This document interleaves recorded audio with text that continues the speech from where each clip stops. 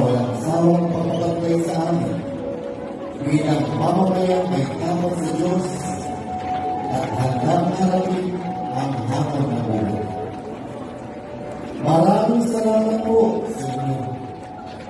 Walang buhay na pasasalamat na initali niyo kami sa kulang pandemic na aming pinakaharap.